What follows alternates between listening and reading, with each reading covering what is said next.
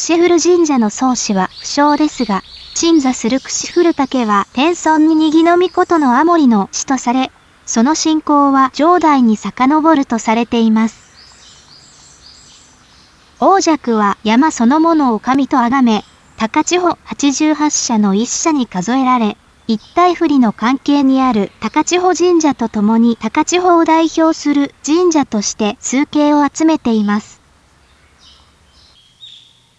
古くは串古大明神とも称され、山岳信仰の名残をとどめた神社でもあります。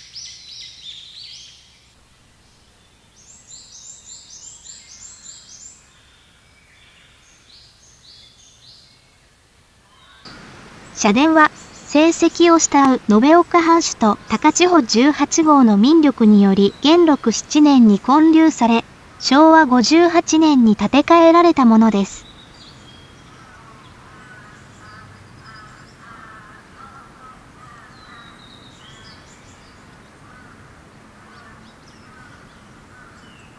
本殿は三軒車流れ造り銅板武器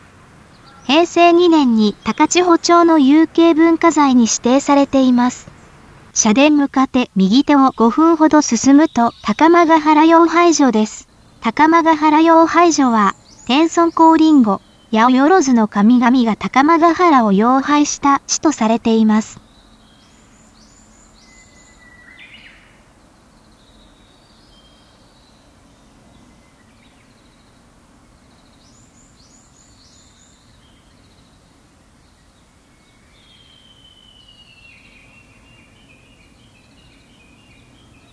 道をそのまま進むと3分ほどで塩王子ヶ峰に至ります。塩王子ヶ峰は神武天皇とその後継の4柱の高端地と伝えられています。